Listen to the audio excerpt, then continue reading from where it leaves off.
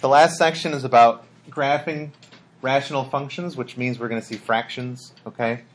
Um, there's a lot of good information that I recommend you go through and read very carefully.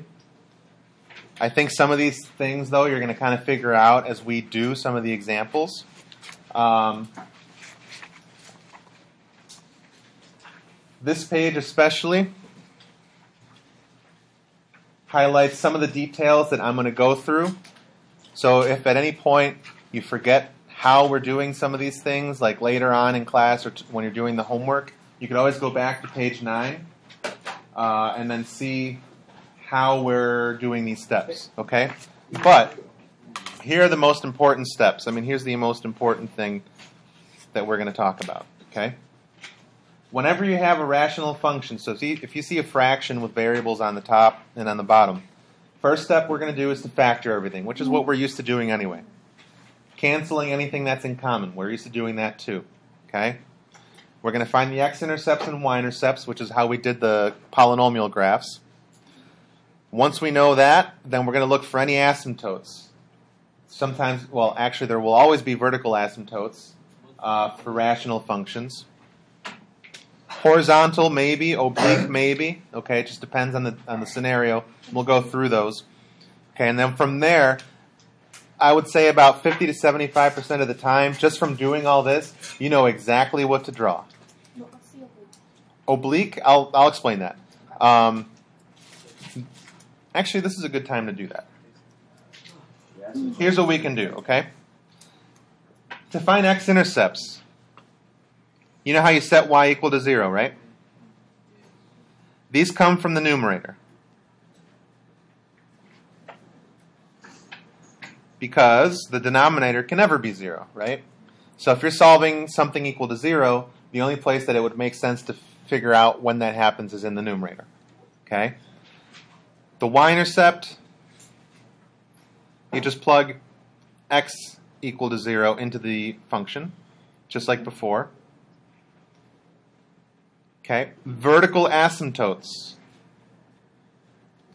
come from the denominators. So if we saw an x plus 4 in the denominator, we know that x can never be negative 4. That's what we say is a vertical asymptote. Okay? These horizontal and oblique, there's actually three scenarios, okay? So three cases. First case is easy. If the degree of the denominator is greater than the degree of the numerator. Do you guys know what I mean by that now? So if I have a degree of, let's say, like 2 on the top, like x squared plus 3x plus whatever. In the denominator, I would want what? 4. Yeah, something to the fourth, anything that's bigger than quadratic, right? Mm-hmm. If this is the case, then there's always a horizontal asymptote of y equal to 0.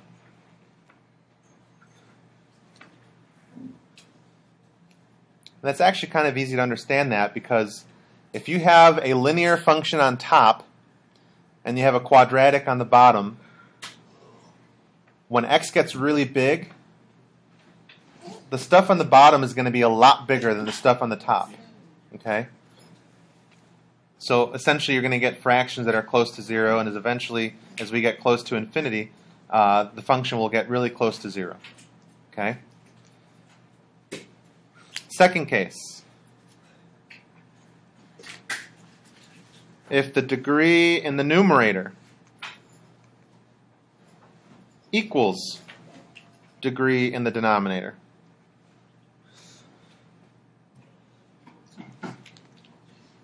Okay? Then there's always a horizontal asymptote And the equation is y equals lead coefficient over lead coefficient. Was this in Where? first? Here? If degree, degree? Always? Lead coefficient over lead coefficient. Yes. So it's just gonna be So if it was like 3x squared plus blah blah blah over 2x squared plus blah oh. blah blah, then it'd be 3 over 2 is the equation for the horizontal asymptote. gotcha. Okay? And I'll, I'll explain I'll explain why these three have to be the case. Okay? So that you guys it's not just about memorizing these things, but you should kind of understand like why this stuff actually, What- what's the actually works. for A? Always. Oh. Yeah, but what would that mean? How would That was like 10 seconds ago. Yeah, we haven't even been that- in it was class. like you see- Third case. I'm kind of out of space here. I'll just do it here. Can you guys tell me what the third case is? So we did degree of denominator bigger. Oh, if it's smaller. So yeah, if the degree of denominator is less than the degree of the numerator, then there's always an oblique asymptote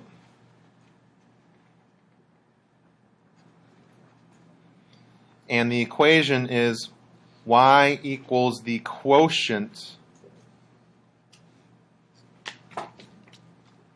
without the remainder, no remainder,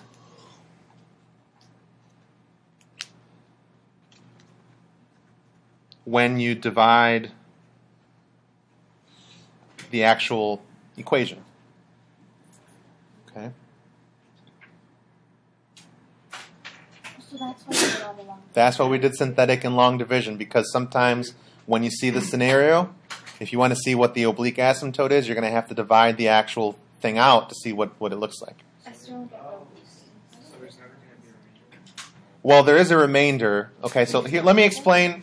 If you guys don't mind, I'll explain exactly why these things make sense, okay? Okay. So let's start with an example of the first case. Are we gonna draw these? Um, No. You can either do this, you know what? You can do this right here if you want, if you need to. I'm just going to kind of explain why the first case makes sense. First case was degree of denominator bigger. So let's say we have something like x plus 1 over x squared plus x plus 5, right?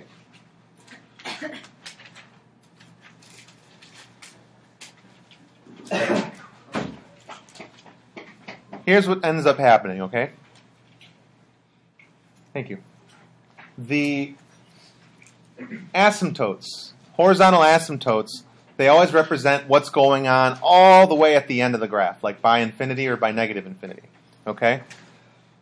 So if you think about plugging in really, really, really big numbers for x. So what's an example of a really big number? Thousand. Million. Million. Let's do a million. So on the top, you'd have a, something really close to a million, right? A million or a million and one. That's pretty reasonably close, right? On the bottom, though, when you square a million, Is it a billion? you get 1 followed by 12 zeros. What is that?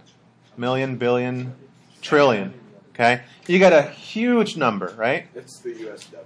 So so here's what's happening. As x as x goes really really far up towards infinity, the top you get a kind of big number, kind of big, divided by what? Really big number. Do we agree that this is going to be smaller than that? By a lot, yeah. by a, t- by a lot, right? When you take a number and divide it by something that's much larger than it, what's that going to give you? A decimal. A decimal between what? 0 and 1. So as we plug in numbers that are even larger, this is going to get even smaller. Does that make sense? Okay. This is why we say there's a horizontal asymptote of y equals 0. Because this function we say is more powerful than the linear one. I know now. So this one is going to basically get larger much faster than that one. So eventually you're doing small over big, which is going to be close to zero. And it'll never equal. And it'll never equal zero, but it'll keep getting closer and closer. Do you guys kind of buy that? Okay. The second case um, was if the degrees were equal, right? So check this out. If we have x squared plus 4x plus 5, and let's say 2x squared plus 3x plus 1, okay? We just talked about how quadratics kind of overrule all the other stuff, right? Because they're much more powerful in the end. Yes. So think about it like this: if we plugged in a million here, a million squared, really large. Here, this is just going to double it, right? This 4x plus 5 and this 3x plus 1 are going to add something to it, but not as much compared to squaring it. Does that make sense? Yes. So as x gets really, really large, and this is an informal thing, and when in calculus you're actually going to spend some time doing it more formally. But this stuff, as x goes to infinity, pretty much doesn't do anything. Doesn't do much when x is really big. So what that means then, if you just focus here, what can you do with the x squareds? So we say that y is about x squared over 2x squared, which is about 1 half, which is the lead coefficient divided by the lead coefficient.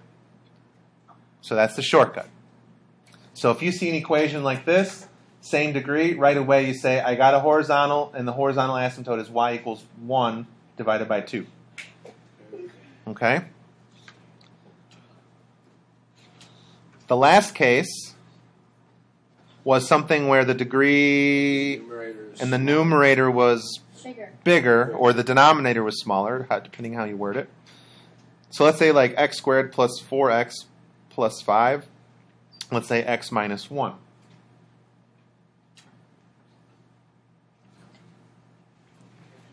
As x gets really, really large, let's actually divide synthetically so you guys can see what I'm talking about.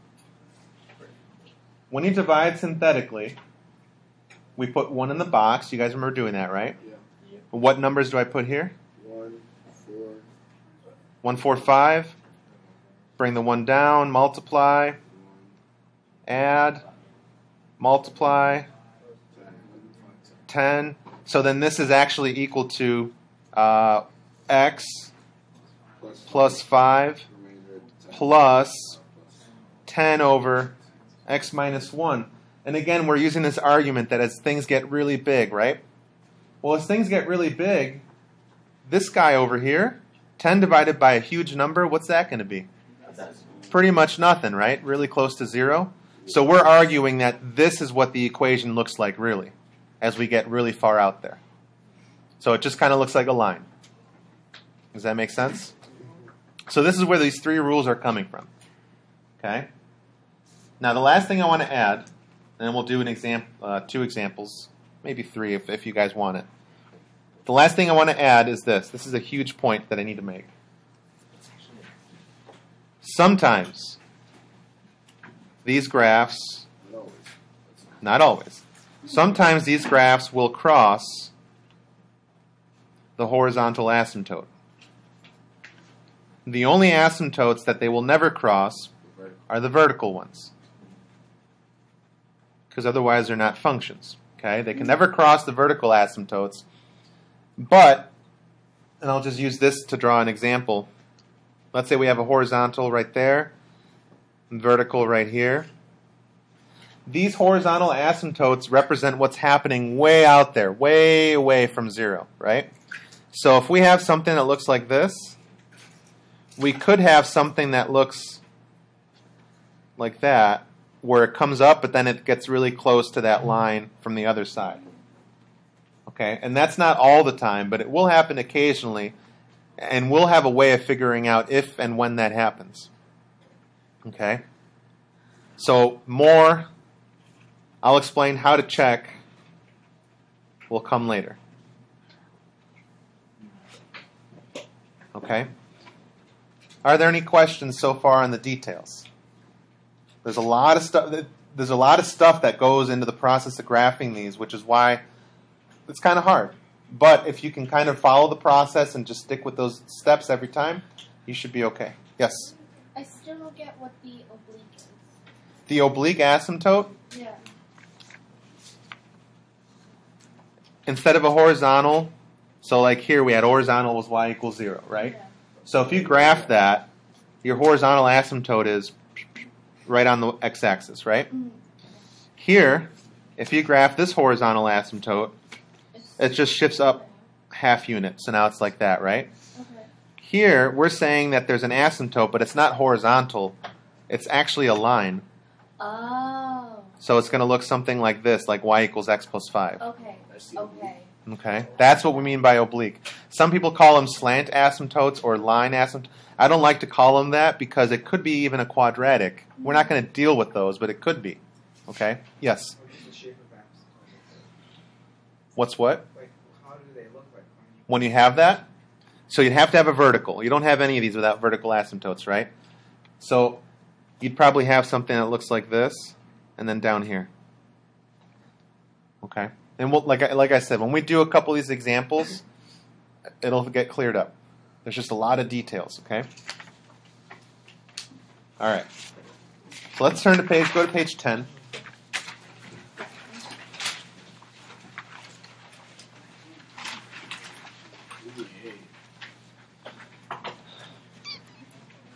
Let's start with.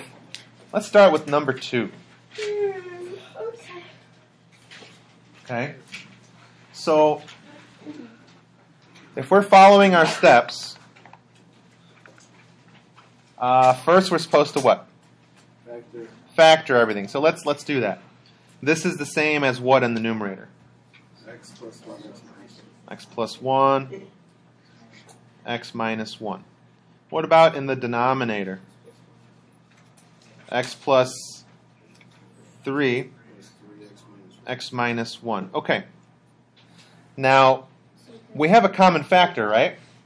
So we're going to remove this from the equation, and we're going to just worry about graphing x plus 1 over x plus 3 only. So this is what we're going to graph with this little thing that we call a hole. And these always come, anytime you cancel anything out, that's when you get holes. So you guys can remember that, right? If anything cancels, there's going to be a hole in the graph. And all that means is that when you graph it, you're just going to put a little open circle at that location.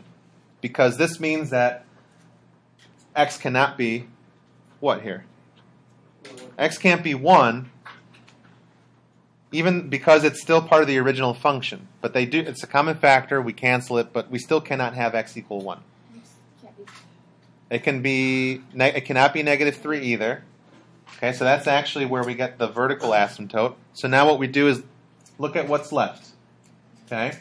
This denominator tells us the vertical asymptote is Negative 3. and then we always write x equals negative 3. Always write equations of lines, not just numbers. Uh, x intercepts. We've already factored the numerator. This is all that's left. So if you set the top equal to 0, what's x going to be? Negative 1. So negative 1 is the x intercept. Y intercept, you just plug in 0 for x. So 0 plus 1, 0 plus 3, what is that? One third. One third. And now here's where you got to slow down a little bit until you get the hang of it. This is where it gets tricky. Horizontal asymptotes, you got to look at which case it is. What degree do we have here in the original problem? X squared, x squared. Do you see how the lead coefficient is 1 for both of these? So the horizontal is going to be y equals 1 divided by 1, or just 1. Are there any questions on how I'm getting those details?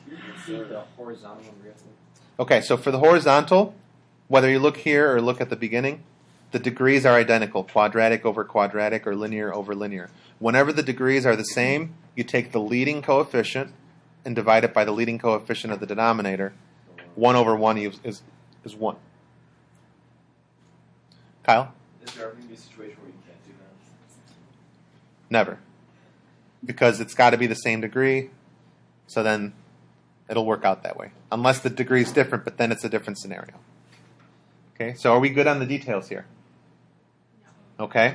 Now, let's worry about this hole, because I want to get every detail possible before I start sketching this thing, okay? So we have a hole.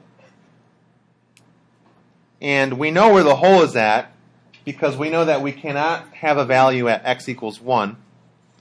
Okay, so that's going to be the x coordinate of the hole. And to figure out the y coordinate, you take this 1 and you stick it back into the simplified equation for x. That's the worst arrow ever drawn.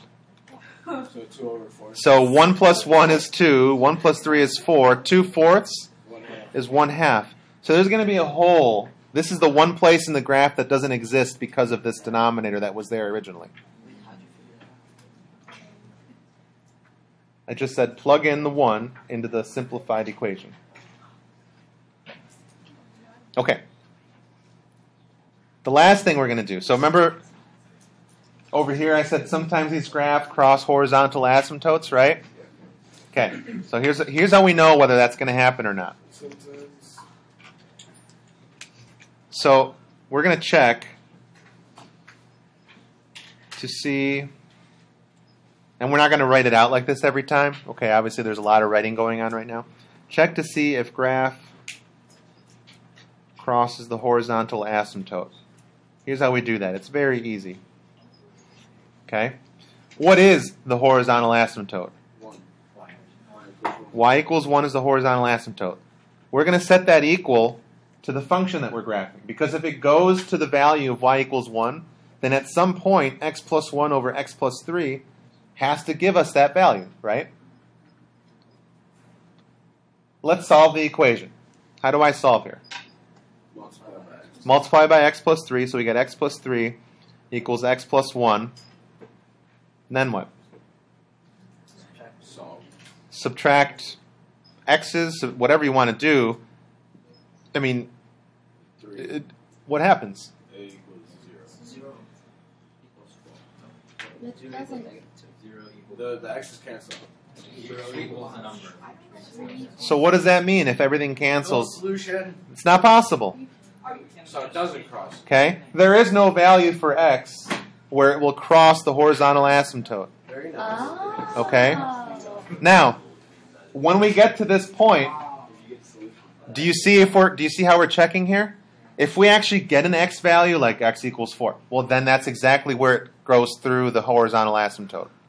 Okay? So sometimes these x's will cancel and you get nothing, which means that it doesn't cross. Other times, like if this were a 2x here, you see what I'm saying? Then you'd get a value. Okay? So right now we're not going to worry about it. So let's graph. Okay? So first thing I do is start by graphing all these details, okay? First I do the vertical asymptotes. So x equals negative 3, and I always label everything on my graph so I don't get confused. Okay? Um, there's the vertical. The horizontal is at y equals positive 1. So maybe something like this. Everyone okay so far? Okay. And now I'm going to label my intercepts. We have x equals negative 1. So if this is negative 3, negative 1's got to be over here somewhere. A y-intercept of 1 third. So if this is 1, 1 third will be down here somewhere. Okay. And now we're supposed to kind of look at it and draw it just by looking at it. Like I said, about 50 to 75% of the time you can do that and you're good. Other times you have more work to do. In this case, the argument is there is no other possible choice for this except to have this part of the, this be part of the graph. You guys see why? Okay? We're always going to have like if there's one vertical asymptote, there's going to be two pieces to the graph. If there's two vertical asymptotes, then we're going to have three sections to the graph. Okay? Here's the right half of it. The left half of it either has to sit up here in this sector, No. or it's going to have to be down here. Which one makes more sense? Opposite. Why? They're both positive. Don't draw this. Don't draw this, but why is this bad if I did this? Because then it would be a It's not going to cross both that. Saeed, say that loud. What can't cross what? Oh. Two green ones can't cross it. And the function can't have two So solutions specific for every- Okay. I thought you were going to say something else. You're, you're, you're on the right track. How many? Okay, wait, hold on. Raphael, do you see it? There's supposed to be another line for asymptote. No, this is. You can have this and just have one. Oh, Oh god. Yeah. We're going to do a horizontal line check. Mm, not quite.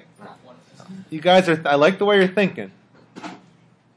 Let me ask you guys a question. Maybe this will help you. Why can't why can't equal Oh, one? you want to think about it some more? Okay. Give you 30 seconds. Oh. Nobody talk. Just think about it for 30 seconds. Why does this why does this part of the graph make not doesn't why doesn't this make sense in this scenario? Think about that for a second. Would that one, like, think N negate at one point? If you could, like, No, because it can't equal negative two. they could never cross the same road. Somebody do with plus or minus. Brandon knows. Because opposite B is Brenda knows? Yeah. What is it? actually knows. I don't know what it is. What do you think, Brenda? Ooh, nice. How many x intercepts does this have? Oh. There's only one. We already got it right there. We can have another so this be on Yes. I thought that's what you were going to say. Oh, okay. So you were right. Okay. So everybody kind of see that why why that works? If you now that you've seen this once, okay, if you want to get if you just want to do this without thinking about it, right there, I would have gotten another x-intercept up here, right? Yeah. In order for this to be possible. So let's say I did. Let's say I got like negative 5. Then this would be perfect. Okay? Now, since I did not, this is the final graph. And if if the y-intercept or the the horizontal asymptote was at like negative one, then you would have it be on the lower part, right? Yes, Okay. that's absolutely right. Because it, it, if we had it in the top part, it would have to cross again to get down yeah. there. Very so good. Have, okay. I Yep. Get it, I get it. Erica? Okay, so, um, is it so possible to get like multiple x intercepts and then you'd have to graph it like, like what you just drew? Not the orange one. Yes, it is possible. Question was Is it possible to have more x intercepts? And then would this be a scenario? Answer is yes. But not one. You would never have more than one y intercept. Because then it wouldn't be a function. So basically, if you ever have a graph like this, the only other place, like it'd be like, you could have, can it ever just be the one right there? Like, Here, okay. Here are the only possibilities when you graph this. You're either going to have two things up here, two things down here, or like this. And it just depends on what details you have. Okay?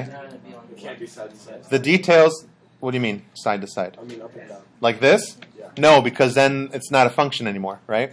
Yeah, 'cause there's more. There's one. only, there's got to be one piece of the graph on each side of the asymptote. oh, Okay? Of, of the vertical asymptote. Okay? But not the horizontal. Horizontal, that just tells us about what's going on at the end. Could you ever have three? Three sections of the graph? Yeah. Yes, you'd have to have one more vertical asymptote. Okay.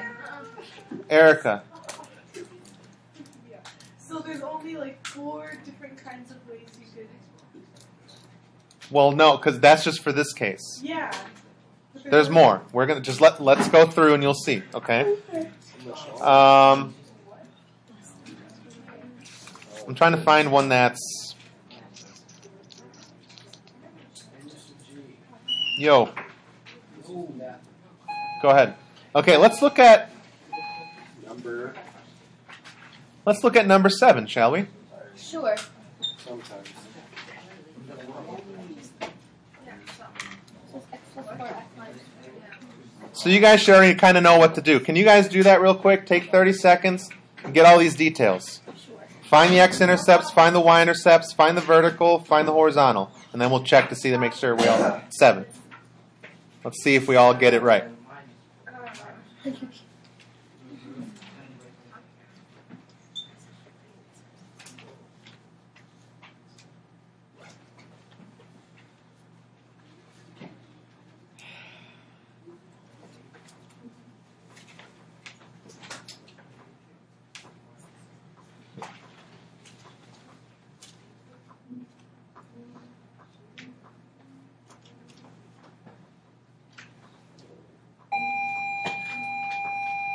I'm going to quickly do it and then put it up on the screen so you can check. Was that a sneeze? Yeah. Oh, all right.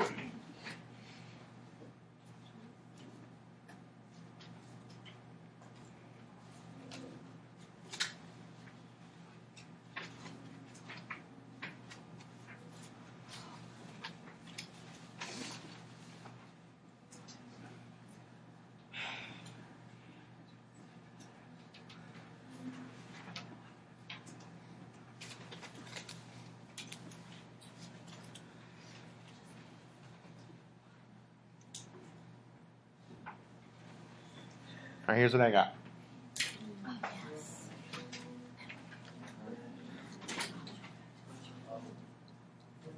Where did I get negative 2? The. The numerator. That's what you set equal to 0 to find x-intercepts. Y-intercept, just plug in 0 for x. You get negative 1 8. Since nothing canceled, you could do it even at the beginning if you like.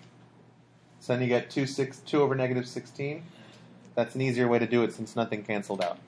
Okay? Can you always do that? As long as nothing cancels, yeah. Yep.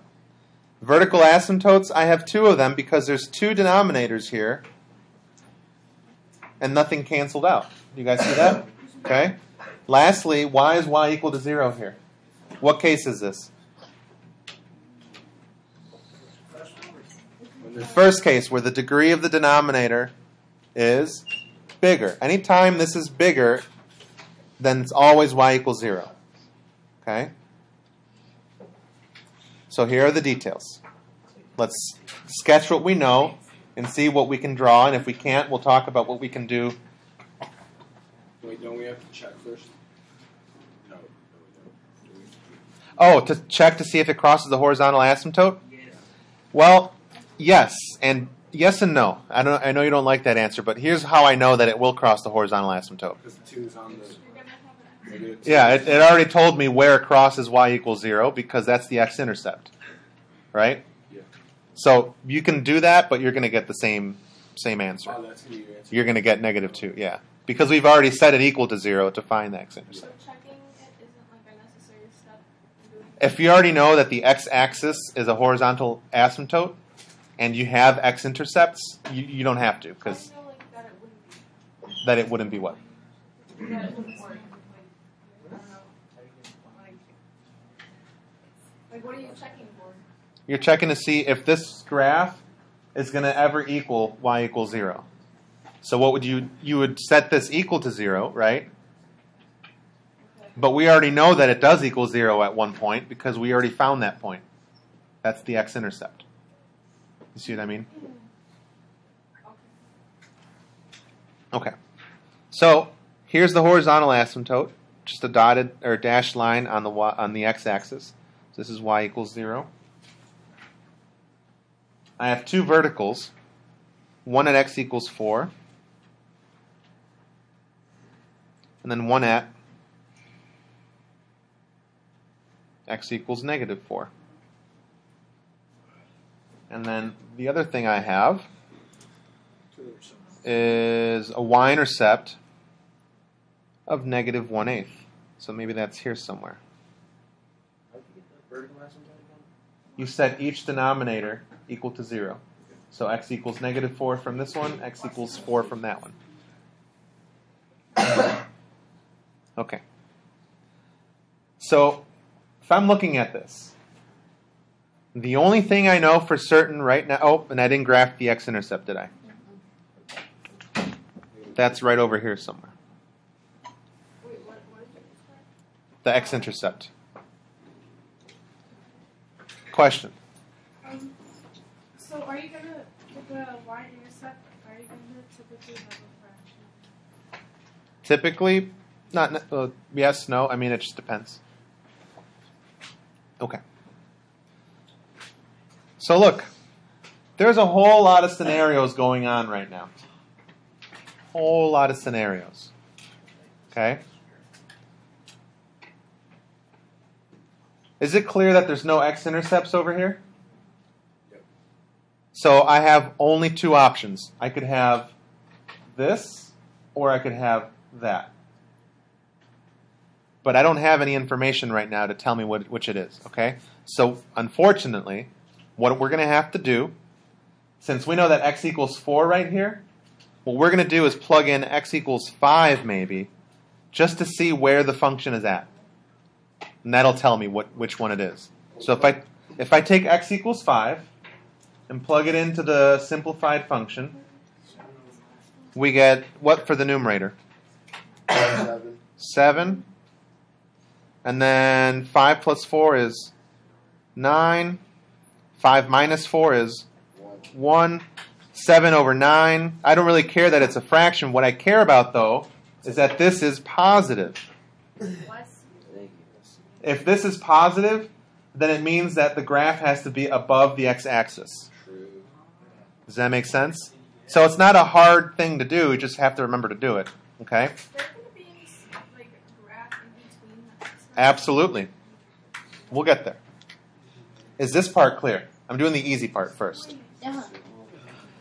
What if you plug in a different number and you got a negative number? You won't. You okay with that? If you plugged in anything that's to the right of 4, like 4.1, 4.2, 7, 300, you're always going to get a positive answer. Oh, so if you plug something to the left of it. Left is going to be a different story, maybe. We have to see. Okay. Erica. Let's zero. did you just, um, No, 'cause for we already x know equals the five, answer. Because it's fast. Because it's to the right of 4. Yes.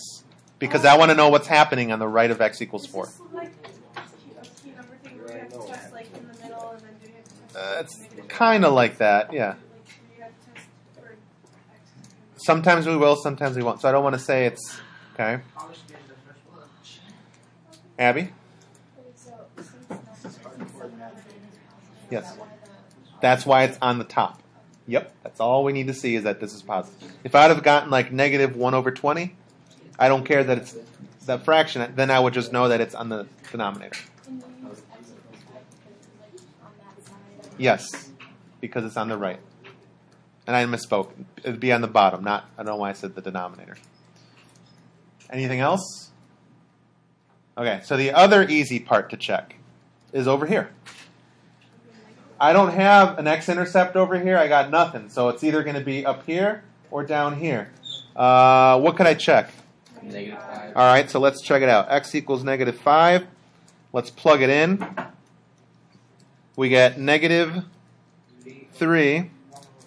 Negative 5 plus 4 is negative 1. Negative 5 minus 4, Negative nine. negative 9. I see three negatives here. I don't care what it is, but three negatives is going to be negative. So what does that mean? So below the x axis. Y. The x axis. That means it's going to be below the x-axis. So. So it's going to look something like that. Everybody good with that so far? Yes, sir. Okay.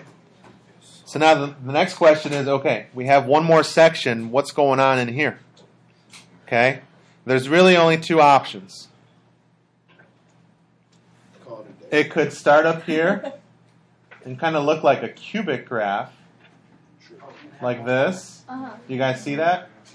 Or it could be kind of this weird parabola ish shape where it starts down, kind of bounces off negative 2, and then goes through there, and then comes back around and goes down this way. Uh-huh. Okay? But we already know we already know from experience that in order for things to bounce off of there, That'd be Square. square. we'd have to see a square here, right? But there's no There is no square there. So it's going to have to be like this option. Should we test that? Well, it's not it's not cubic here. It's just because of the y-intercept. What's that? Is it just passing? through It's just passing through the points. That's all it's doing. And then how do you know where to start? What do you mean? Like it's positive, isn't it? Like wait, um, for graphing polynomials, Oh, you don't. You don't know where to start. You just have to think about it. There's no like it's this case or that. I mean, this is the only one that made sense here because of the information we had. Now, if you don't get that from the information that you have, you have another option that you can do. You know how here we checked to see where the graph was? You could say, all right, let me check negative 3 because that's between negative 2 and negative 4. Do you see what I'm saying? So if you plugged in x equals negative 3 into the function, you're going to get a positive value. So that tells you that the graph's up here somewhere. So that has to start from down here. In fact, if you don't believe me, we can do it. x equals negative 3. Let's see. At x equals negative 3, we get negative 1 on top. We get positive 1 in the uh, first factor, and then negative 7 in the other. Two negatives is positive, right? So then it's got to be up here somewhere. So that's why this is the only shape that makes sense. Yes, Kyle. Yep. How would you factor the y-intercept? Because if you plug zero you wouldn't have one in that case. In fact, there's going to be a vertical ass because if you factor out an x down here, you got x equals zero for a vertical, so you're not going to cross the y-axis. Okay. All right, guys. I know this is hard and this is kind of long because there's a lot of stuff going on. Okay. You guys generally do a much, no offense to Block D, a much better job of listening to other people's questions. I feel that you learn because sometimes someone thinks of something that you never would have thought of, and you're like, oh. And then by us going over it, it makes you that much smarter. Okay? Don't lose sight of that. You guys are generally pretty good at doing that. Right now, it's getting kind of long. I know. I apologize, but some of you are now having side conversations and not listening to what's going on. Okay? One more. I just wanted to cover. We did one. This was where the degree was the same, right? Yeah. This was where the degree was bigger on the bottom. So what's the last case we're going to do together? Bigger and then Bigger in the numerator. So let's find one of those. Here we go, number nine. Okay. Now I'll tell you right now, this packet is very nice to you because it tells you there's an oblique, right? Oh. Wow. Now on the quiz and on the test, you're going to have blanks for everything. It'll say x-intercept, y-intercept, horizontal, vertical, oblique. You're going to have to tell me there is no oblique or there is, and you're not going to know which one unless you know that this is the case where there is one. Okay, so let's can we factor anything? Let's see. x minus 3, X minus X x minus 2, that makes more sense. x minus 1 over x minus 4. From there, let's get all the details. The oblique we'll talk about in a sec. What's what are the x-intercepts? two and one. 2 and 1. Y-intercept, nothing canceled, so I could just plug in 0 back here if I wanted to. It's a little easier if you see that. Negative a half. Do you just take the last two numbers? Yeah, because there's no x's there. Okay. Because if you plug in 0 for x, all the x's just go away. And you can do that as long if this if this is just another version of that where nothing canceled out, then it, it's okay to do that. Yeah. Okay, so when you're finding x-intercepts, you only use the numerator. Only the numerator. Now the denominator, if you take the denominator and set it equal to zero, you get x equals four for a vertical asymptote. Because the denominator can never equal four, so that's where the vertical comes from. Hmm. All right, let's get Now for the oblique, all right? Nothing canceled out. For the oblique, do you remember what we have to do? We have to actually divide and see what's going on. Oh yeah. Now, because this is a nice denominator, I can just do synthetic Okay? So if I do synthetic, what goes in the little box? Four. So 4, 1, negative 3, 2. Bring down the 1. 1, 1 times 4. Add it up. 1 times 4 is 4. 2 plus 4 is 6. This is the remainder. We don't care about remainders when we're doing this oblique asymptote. What does this translate to, though? X plus one. So we're going to write y equals x plus 1. That's the oblique asymptote. Wait, what? Yeah. This is the remainder. That's the constant. That represents 1x, right? So that's that's how we're getting this. We don't have to do anything with that except write it down, and now we graph it. So, 2, 1, vertical asymptote at 4, x equals 4 as a vertical asymptote, y-intercept of negative a half, And now we just have this oblique that goes through what's the y intercept for this equation? Goes through 1, has a slope of 1, so maybe something like this. So this is your oblique asymptote, y equals x plus 1. And remember, there's two pieces to the graph. Here's the vertical asymptote. There's got to be something on the left and then something on the right. There's only one option that makes sense on the left. The only option that makes sense on the left is this. It's going to go through 2, come back and hit 1, go through the y-intercept, and it's going to look something like that. That's the only option that makes sense. Yes? The y-intercept was one. Y-intercept was negative a half. Yeah, and then when you um, oblique, like the y-intercept is one. Yeah, for the oblique asymptote. Yep. Why? Because it's y equals mx plus b. Uh, We okay with this? On the right side, there's got to be something else. Does this make sense right here? Why? That's going to hit the x-axis. We don't. There is no point there, so it's just got to be up here somewhere. So something like this, and that's it. So that's an example of all different kinds. Okay.